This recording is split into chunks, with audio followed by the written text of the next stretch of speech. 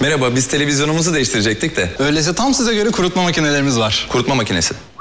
Bize artık yeni bir çamaşır makinesi lazım. O zaman size mini fırınlarımızdan da bahsedeyim. Mini fırın. Merhaba, buzdolabımızı yenileyeceğiz biz. Buzdolaplarımız burada, elektrikli süpürgelerimiz de şu tarafta.